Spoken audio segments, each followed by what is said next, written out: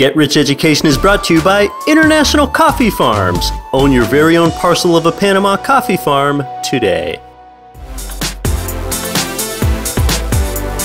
Welcome to Get Rich Education with Keith Weinhold, giving you information and ideas on the investment that has turned more ordinary people into millionaires and billionaires than anything else, and can provide you with more wealth and happiness than you ever thought possible. Now, here's your host, investor, entrepreneur, business owner, and educator, Keith Weinhold. You're listening to Get Rich Education Show 31. I'm your host, and my name is Keith Weinhold. Welcome in. By being here, you've greatly increased the chances that you will change the polarity of your financial circumstances. How is anything less than a 25% annual rate of return from income real estate disappointing? We're going to break that down today and a lot more. It really helps to know this stuff, and I'm grateful that you're willing to help yourself out. It's even more important now when many feel that the stock market is too high to possibly buy low. Get Rich Education is a free education with material that you can act on that's going to have a real impact in your life. It's a great value. This is a worthwhile education. Well, someone might ask you, Get Rich Education, okay, so you get your learning from a free podcast. Well, yeah, and you might wonder what their question is trying to validate. Well, what about college education? Yeah, I happen to have one of those myself.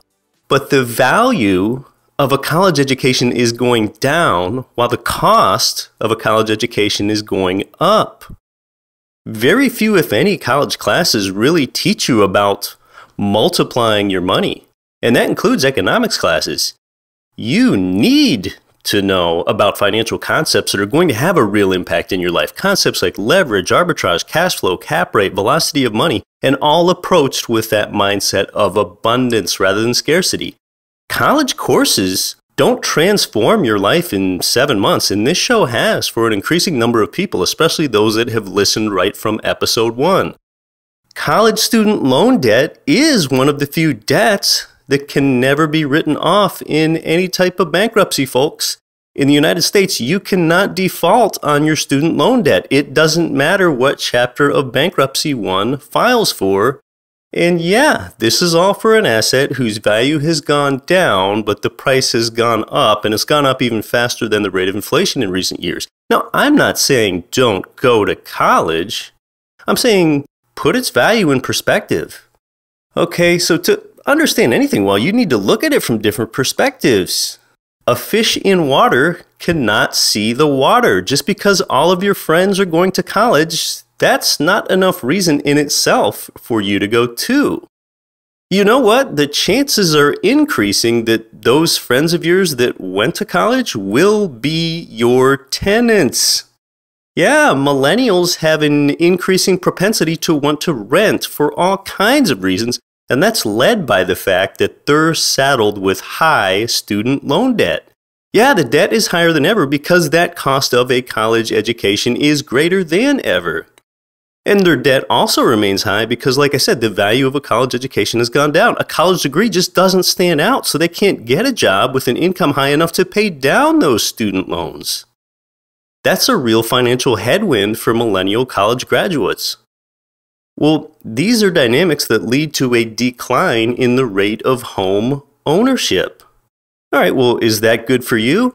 Well, it depends on what side you're on, and I want to put you on the right side of that. If you're buying rental property, the fact that home ownership is more difficult for millennials, well, that's really good for you. Those millennials cannot afford a down payment, and still difficult lending standards on a home and all the ongoing maintenance expenses that they would have keeps them renters, and they stay renters for a long time.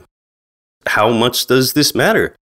Consider that as an age cohort, which is age 18 to 34 for millennials, that there are more millennials than baby boomers. There are already more than 75 million millennials. There's already more than the baby boomers, and the millennials' numbers just continue to grow as more people age into that cohort, 18 to 34, than age out of it. Millennials are a more transient cohort too. They move around a lot. That further contributes to a demand to want to rent rather than buy. Millennials are also a group that is postponing marriage and household formation, and that's just another factor that's more likely to keep a renter a renter. The percentage of US households that own a home has dropped in the last 5 years. There are more renters now. Over the last 10 years, the percent of renters in the US has climbed from 31% up to 35 to 36% today.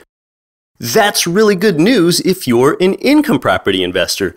Although interest rates continue to defy gravity near these historic lows here, which many think could continue for a while, it is difficult to qualify for real estate loans today as the pendulum has swung far away from the easy money days 10 years ago in the mid 2000s, and it's stayed here for a few years now.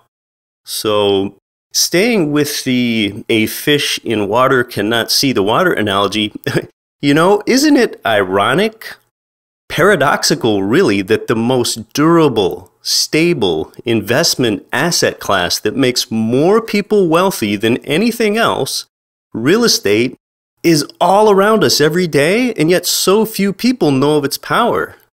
Here's what I mean that 10 plex apartment building that you drive past 250 times per year, that could be the property that sets you free. That could be the property which, by the time you add it to your portfolio, can tip you over the top so that you can declare your financial independence day. It could be right in plain sight on your everyday commute right now.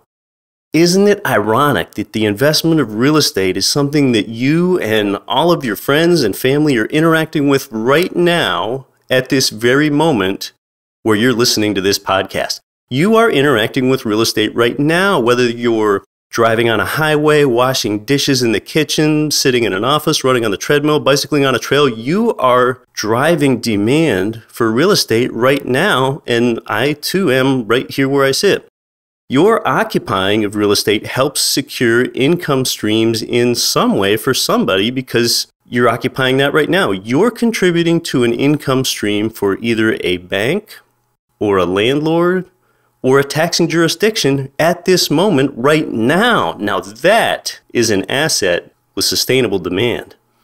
I want to put you on the right side of that transaction, not the wrong side. I want to put you on the side where the income flows to you, not from you outside of the human occupancy component, when you buy a rental single family home or an apartment building, you own tangible commodities too. They have some value. You now own and control valuable components in the property like glass, steel, wood, concrete, copper wire, bricks. And you also effectively own a share of the cost of the labor that went into turning those raw materials into usable, functional household components. And here's the thing whether you have 5% equity in the property or you own it outright free and clear, you still have the same amount of control over those things. You know, as you accumulate more properties in cash flow in your portfolio, you might have some family and friends that ask you why you're buying turnkey real estate property outside your home market. Well, not that you need to validate it, but here's why we're doing all this. And this is sort of like a little GRE game reset here, okay? No one gets wealthy just working for money. We all know that. That's not where we want to be, okay? Well, here's what fewer people know almost no one gets wealthy getting their money to work for them either creating wealth that is lasting, substantial, and life enhancing, well, that's obtained when other people's money works for you. That's a foreign concept to those whom you're talking to about this for the first time. They're like using other people's money to acquire wealth. I mean, a common reaction to that is, well, how do you do that? Is that legal? and even if it's legal, would it be ethical? Yeah, it's both. Using other people's money doesn't even mean that you're exploiting people. In fact, it's just the opposite. When you provide them with housing that's clean, safe, affordable, and functional, you're providing others with great value. And in a sense, that right there really iterates the basis of this show and the basis of my purpose. Now, how do you ethically use other people's money? Well, with income property, you do it three ways at the same time. Number one, you use the tenant's money for both rent income and passive cash flow, also known as making money follow you, and you benefit from it for loan principal paydown as well. Number two, you use the bank's money to both increase your leverage and put the risk on the bank. That leverage is powerful. That is whether you put just a 5% down payment on a property or a 50% down payment on a property, that property's value is going to change regardless of that equity position. Historically, real estate rises in value over time, so with a lower down payment, your rate of return is greater with a lesser down payment. Number three is you make other people's money work for you because the government provides you with great tax incentives when you provide housing for others. Those significant benefits are both the mortgage interest deduction and tax depreciation. When we had Rich Dad Advisor Tom Wheelwright here on the show, he told us that the amount of tax that serious real estate investors should be paying is exactly zero, okay?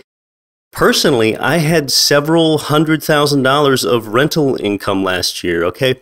Property managers report that rental income on 1099 forms for your taxes and they send them out at the end of the year. My effective tax rate was low, and my tax obligation was zero. In fact, I received a tax refund for last year, despite having several 1099 forms sent to me with six figure rent income on them.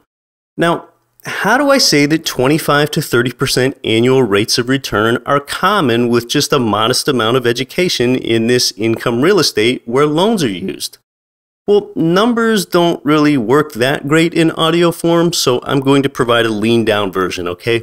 What you do is you add up your sources of income property wealth accumulation to come up with 25 to 30% or more. All right, of the five ways that investors financially benefit with real estate, we'll just add up the big three ways. The last two get too numbers heavy. Now, if you bear with the example on the first of these three, then you'll have it because the next two are mathematically easier, okay? So income source number one is appreciation. Now, appreciation is not something we can just count on, but historically, real estate appreciates over time at about 5 to 6% a year. We'll just call it 5, okay? Now, here we go. With a $20,000 down payment on a $100,000 property, that property is worth $105,000 after the first year. That 5% gain or $5,000 gain, that's a 25% return on your $20,000 down. Okay? How did you achieve that 25% gain right off the bat? That's because you achieve that return on both the $20,000 down payment and the $80,000 borrowed from the bank, okay? So to that 25%, add in the income that we get from number two. Now, number two is our return from the tenant rent income, creating cash flow, which is leftover money every month after all the expenses are paid. That often results in a 10% return when you run the numbers and make comparisons and make your selection that way. So in this example, that's if you created $2,000 of cash flow in one year on that $20,000 down payment, that's 10%. That's called the cash on cash return portion, okay? So following along here, we're now up to a 35% rate of return, 25% for the leverage appreciation, plus 10% from the tenant cash flow. We'll add that 35% rate of return now, now to number three. Number three is loan principal paydown. At today's low interest rates, the amount of the principal paydown that the tenant makes that first year is often 4 or 5% of the amount of your down payment. All right, just call that 4% that we're adding to the 35%, and we have a 39% total rate of return.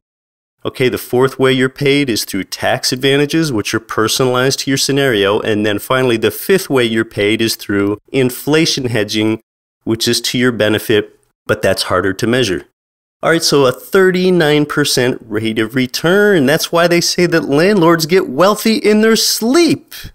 And of course, you, you don't want to be the landlord. I think the better way to say that is that real estate investors get wealthy in their sleep. Now, with the 39% total return on investment above, to keep things simple, we haven't added in any closing costs. I usually get the seller to pay those for me anyway. And we also didn't even include those two significant investor tax benefits, which are more difficult to quantify, like tax depreciation and the mortgage interest deduction, which basically means that we get to keep more of that 39% return. And then we didn't include the inflation hedging benefits in that number either. So a 39% total rate of return, and that's using a few conservative numbers. If we had used a 6% appreciation rate rather than 5%, that would be a 45% total rate of return on your investment rather than 39%. Now, every few years, one should look at harvesting and redeploying accumulated equity. Otherwise, the amount that you have invested in the property grows from equity buildup and that's a drag on your total rate of return. That's diluted because you do now have more money invested. But that's how it works, folks. You really don't even need to be that smart to figure this out. I mean, talk about how doing the right thing is more important than doing things right. I mean, knowing about this is the right thing.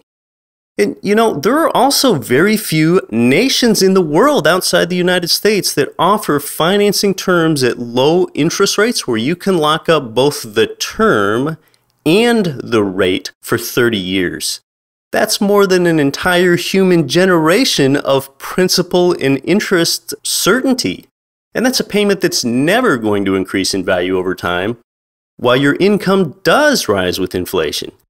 I mean, look, even in Canada, it's not like this. Look at what Canada has, okay? I go to international real estate events and talk to Canadian investors. The standard mortgage in Canada, that's not the 30 year fixed like it is in the US, but a five year mortgage amortized over 25 years. That means the loan balance has to be refinanced at the end of five years, exposing the borrower to any increase in rates that has occurred in the interim. You have a shorter 25 year amortization, it's more difficult to make things cash flow.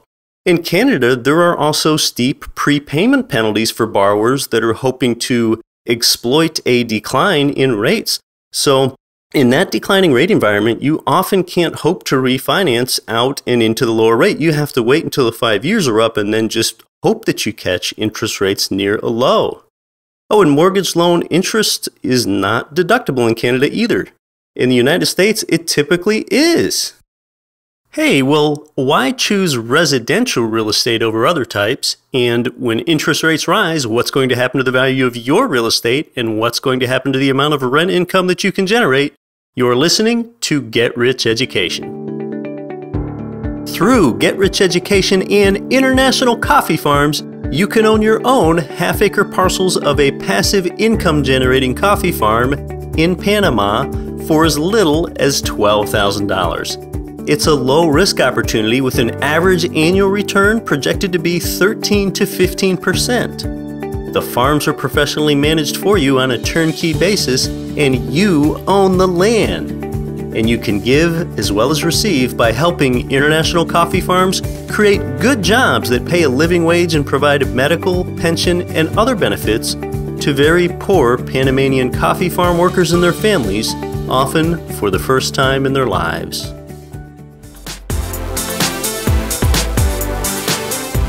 This is Entrepreneur on Fire's John Lee Dumas. Don't follow money, make money follow you with Get Rich Education.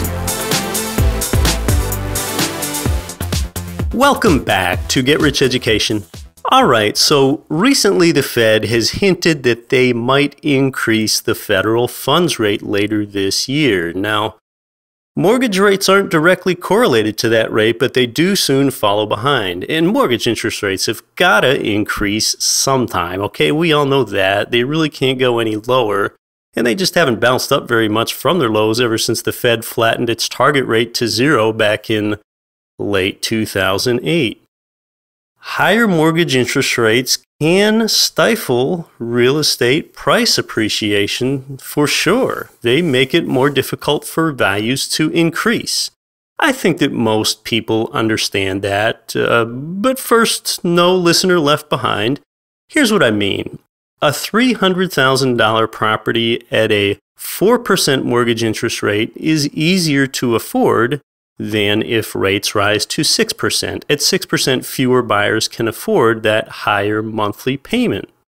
Well, with less demand for property at this higher interest rate, price support starts to go away and the $300,000 home could very well be worth 290k the following year.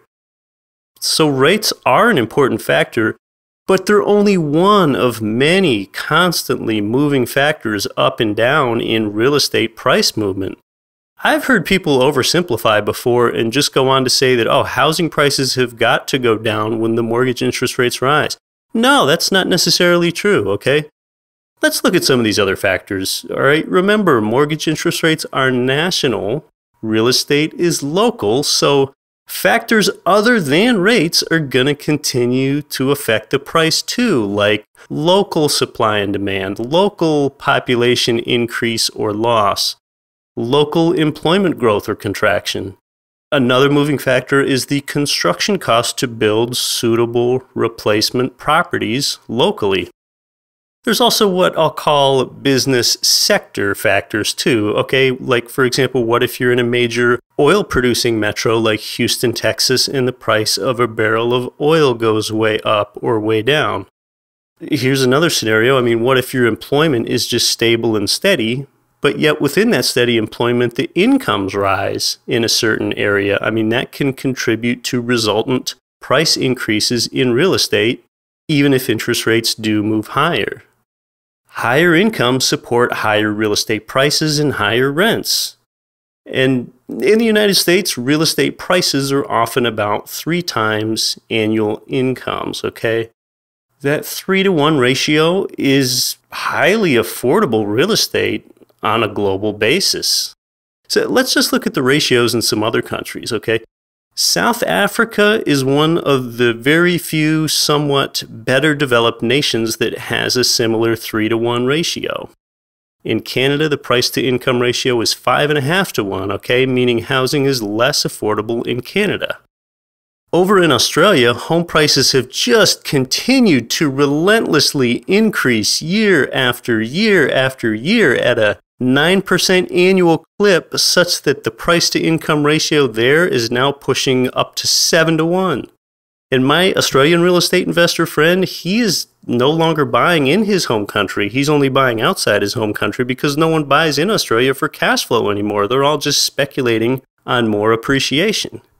In most European countries, including Scandinavia, the price to income ratio is between 6 to 1 and 10 to 1. In Italy, it's 12 to 1, okay? Really unaffordable. So, you know, the bottom line here is that if you're a US resident, you can build your passive income real estate empire here more easily than maybe anywhere else in the world, and most Americans aren't even taking advantage of this. So, incomes are just another one of all kinds of factors contributing to real estate values. Mortgage rates do matter, they're just one of so many factors that are simultaneously moving around. Now, last decade, when housing values rose pretty quickly, you know, some renters started having these discussions at home. They, they were like, hey, honey, let's get into a home and go buy before we miss out. All right. Renters started fearing a sense of loss. They wanted to buy a home before its affordability slipped away, and they continued to see it rise in value. All right. Renters wanted to capture that appreciation momentum. Now, this decade, with rising home values, a lot of times it's more difficult for a renter to get into a first time home because the loan qualification process is so much more stringent than when values were rising a decade ago. So, just having sufficient down payment money and being able to afford monthly mortgage payments, that's not necessarily enough for a renter to be able to move out and buy a first time home. I mean, now lenders are actually verifying that you have adequate reserves, documented income, meet a certain debt to income ratio threshold, have a better credit score. I mean, that's why a lot of renters need to stay renters now. All right, now most agree that mortgage interest rates will rise before these stringent loan qualification standards ease. Well, if that becomes true, soon you could have even more renters unable to get out and become home buyers because now you've got qualification standards that are already tough, and that could be coupled alongside higher monthly mortgage payments due to higher interest rates. So, it will really a greater question for the income property investor like you is how much do values matter and how much do rent incomes matter? So, as you can see, real estate values can rise in a higher interest rate environment depending on what's happening with all these factors. All right. So, well, what about rent income? I mean, that's the key don't follow money, make money follow you factor. Well, with higher interest rates, meaning that renters are more likely to stay renters because they can't qualify with those higher monthly home payments, that puts upward pressure on rents because there's more demand for rent. Now, notice even if appreciation on your rental property slowed down or even reversed and your income real estate lost value, you know, you got to ask how much would that really matter if your rent income is higher than ever, driven by that higher rental demand? Since even fewer renters can qualify to move out and get their own home loans. Here's what I mean if you own a fourplex and it's now worth less than what you bought it for, say you've got a fourplex worth 280k and you bought it a couple years earlier for 300k. Well, if you're getting paid more tenant rent income every month and you're in a positive cash flow position, then you got to ask yourself how much of a liability is it really to hold on to the property that's temporarily worth less than what I paid for it? The fourplex wouldn't be a liability at all as long as you don't need to sell it. And why would you want to sell it when your cash flowing income is greater than ever before? Now, you wouldn't have adequate equity to refinance either, but you'd likely have no incentive to because we're looking at a future scenario where interest rates are potentially higher and you wouldn't even want to refinance into them anyway because you would be at a lower rate already. So, with income property, as long as you're careful with market selection, you can kind of be hedged both ways. I owned rental real estate units in 2004 and 2005, and even though real estate prices had been surging for years, hey, I did lose some renters that went off to buy first time home buyer condos. That's because it was so easy to qualify for loans then. Sometimes borrowers didn't even need to document their income to get a loan, plus interest rates fell down to 6% and then down to 5%. Well, that enticed renters to move out of my fourplex as their first time homeowner condo became affordable. Home price values had been surging for years then, and renters moving out felt like they were putting a stop to their opportunity cost of not owning anything renters are trying to capture some of that appreciation momentum. Well, I was not getting rent price increases for a couple years there, but I had bought in a market where there was sufficient job growth in the area, so I was able to keep the units pretty well occupied. At the same time, I was experiencing significant increases in the value of my rental real estate. So I was benefiting from that same appreciation momentum that renters were fleeing to go capture. So buy in the right market. That's the big lesson there. That's why we focus on market demographics so much here at GRE. You don't want to be in a position where you're in a market with job losses or longer term anemic rental demand where you have to end up making all kinds of concessions to renters or even worse have long vacancies. I mean that's when you see landlords doing things almost desperately trying to attract tenants by dangling things in front of them like sign a 12 month lease and get a free month's rent with it. You know that's when owners start saying things like rent from me and you can bring in your boa constrictor and your snapping turtle and your iguana and your oversized dogs. I just need to rent it out you know we hedge against that here by choosing markets selectively, and I only bring providers onto the show that represent good markets. So when you do, you potentially can hedge yourself both ways, no matter which way these dynamics turn over time.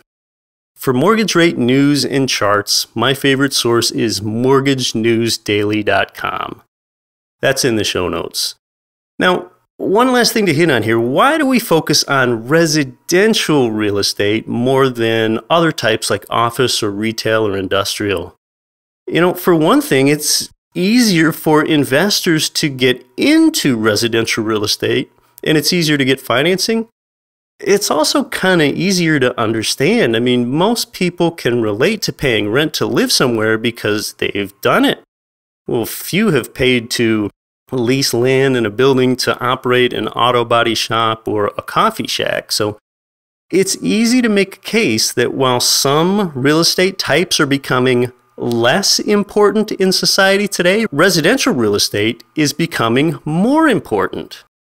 Look, in the past 10 to 15 years, you've already seen certain retail stores fall out of favor, go totally bankrupt, or undergo mass employee layoffs like Blockbuster video stores, Kmart, Radio Shack, Best Buy, Macy's, J.C. Penney, uh, Borders bookstores. I mean, what's the one thing that they all have in common? I mean, consumers are circumventing the need to go there because now they can do more shopping from home. You know, habits now have consumers downloading Netflix movies onto their TVs, iPads, and mobile devices. That's why Blockbuster's gone. Now, consumers Today, compare electronic device features from home and then buy from home as the internet functionality has matured, and that's cut into Radio Shack and Best Buy. You already know all that stuff, but just think about how it actually supports residential rental demand. So, and it's not just shopping from home, it's working from home that's also making residential more important and more valuable to people. Now you've got all these advances in cloud computing and video conferencing. It makes home based business more viable so that people can work from home more too. Residential real estate is becoming more important, and you know, it's likely going to continue. This maturing of 3D printing and drones are just two more developing technologies that promise to make residential an even more vital real estate type. So, you know, the trend is your friend here. Hey, well, on the next show, we're going to talk about these future technologies and what they mean to real estate. We're also going to explore the most valuable real estate known to humankind, and yet no one is even monetizing it. On GRE, you know I've talked about cultivating an abundance mindset, and I'm trying to help you think bigger. But maybe you've wondered who my influencers are in helping me think bigger. Well, you're going to meet one of them because he's our guest on the next show, and he's one of the boldest thinkers and doers in the world today. So, well, hey, I treasure that you listen to Get Rich Education. This week, please tell a friend about the show. Now go out there and don't quit your daydream. You've been listening to the Get Rich Education Podcast, telling you what the wealthy won't tell you about real estate and investing. If you enjoyed the show, please take a minute to visit iTunes and leave your comments.